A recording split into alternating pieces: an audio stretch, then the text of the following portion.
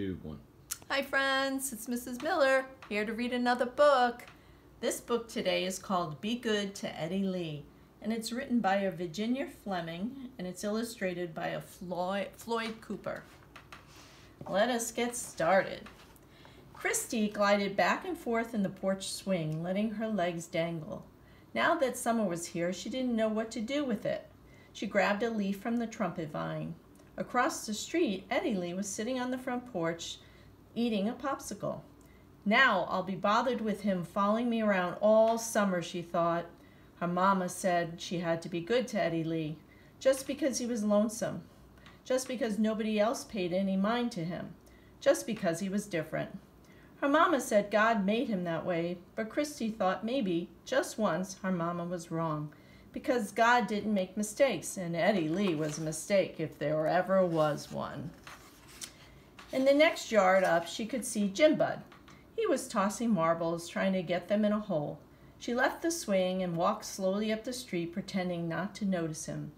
Hello, Christy! She climbed up on his fence and scuffed her sneakers into the bottom board.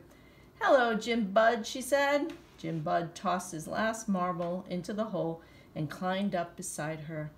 Phew, it's hot, he said. He took off his sneakers. Warm enough to go wading? You want to go with me? I know where there's frog eggs. Christy nodded and they hid their shoes under the forsythia bush and started down the street. As they passed Eddie Lee's house, he called eagerly, Hello, Christy. Hello, Jim Bud. Jim Bud tugged at her arm. Come on, don't stop to talk to that silly guy. Eddie Lee waddled down the steps and, and out onto the street, chocolate running down his chin onto his shirt. He wore a big grin. Jim Bud ignored him. So Christy said, Eddie Lee, you better stay home. He didn't say anything, just looked hurt. Christy wished she had brought him an all-day sucker or something. Jim Bud gave her another tug. Come on, Christy. Eddie Lee, I said go home. Go home. Ah, creeps, Christy. He can't spell. Jim Bud whirled around and stamped his foot. Get, J Eddie Lee, get home. Eddie Lee grinned. I'm not a dog, Jim Bud. Then stop following us like one. Eddie Lee turned around and walked toward his house, head down. You didn't have to hurt his feelings, Jim Bud. Mama says I have to be good to Eddie Lee.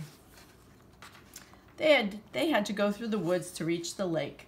Christy liked the smell of the wet leaves and the tickle of the soft ferns on her bare legs. The ground felt hard and cold to her feet. What's that? Christy asked. There was an ear tingling rattle as a belted kingfisher left its perch and flew like a silver streak out over the lake. It hovered above the lake for seconds, then after diving into the water, surfaced with a crayfish in its beak. Jim Bud dipped his toes into the water, testing it. There goes a fish, he yelled. I don't see any frog eggs, Christy said. They have probably already hatched. He most likely made it up about the frog legs just so she would come with him. Christy let her feet sink into the bottom sand and curled around her toes like the folds of a downy quilt. Suddenly, a strange shuffling sound came from the bushes near the trail. What was that? Jim Bud looked scared. I don't know. They moved closer to one another and listened. Thump, thump. Christy's heart began to pound. They looked around for a place to run. The tall reeds around the edge of the lake made a quick escape impossible. Sounds like a monster, Jim Bud whispered. The bushes parted and the monster came clomping down the trail. It was Eddie Lee. What are you doing here? Jim Bud screamed. He looked at Christy and told a whopper, I knew it was him all the time. But there was a squeaky little quiver in his voice, and Christy knew that he had been just as frightened as she was. Eddie Lee sat down on the bank and looked at them. Look, Jim Bud, there's a salamander, a teeny tiny baby. Christy pointed to this tiny animal squirming at the edge of the lake. Jim Bud squatted down beside her. Suddenly, there was a great splash. I got him, Jim Bud, Eddie Lee crooned. He scooped up the tiny salamander in his hands. Now look what you did, Eddie Lee, Jim Bud shouted, looking down at his soaked jeans. Just leave us alone. Eddie Lee turned to Christy. Here, Christy, you can have it.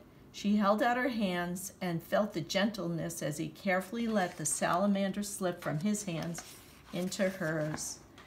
I still don't see any frog eggs, Christy complained as they waded along the edge of the lake again.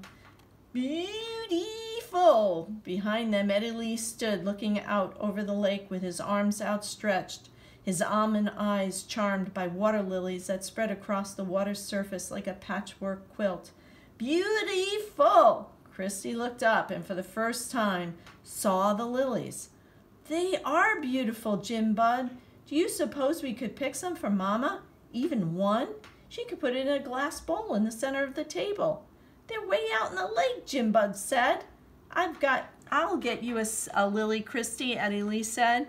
He splish splashed through the water until it reached his knees, but the lilies were far beyond his reach. Disappointed, he waded back, his shoes squeaky wet. I told you he was a dummy, Jim Bud said. Eddie Lee turned away from them and ran into the woods. Now see what you've done. You've hurt his feelings. Jim Bud shrugged and started off towards the cove side of the lake. Christy followed. They had hardly reached it when the thump, thump. This time they weren't frightened. They knew it was Eddie Lee. Thump, thump, squish, squish. His face was red. He'd been running. Come on, Christy. Eddie Lee took her hand and pulled. Where? Come on, I'll show you. She left Jim Bud sitting on the bank and followed Eddie Lee, who was now wading into the woods. Come on, he called, I'll show you. He led her along the trail that followed the edge of the lake, past beaver gnawed birches, over roots, and across a gravelly stream. Suddenly, he rushed ahead. Here it is, he smiled proudly. There was a wide opening in the trail, and right there in the woods was a miniature lake. Tall grass surrounded the edge. A swamp sparrow trilled from an overhanging branch. The pond lay clear and shadowy in the cool of the June afternoon. Floating on the surface of the pond was a myriad pink and white lilies.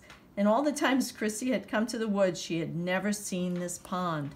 She knelt down and leaned over to look into the water. She could see her reflection in the pool. She was wearing a crown of lilies. Eddie's Lee, Eddie Lee's reflection smiled at her, but he was he still wanted something. Come on, Christy, I'll show you. He reached for her hand and pulled her with him as he trailed around the little pond to the far end. Look, he shouted, pointing to the still, sun-warmed water.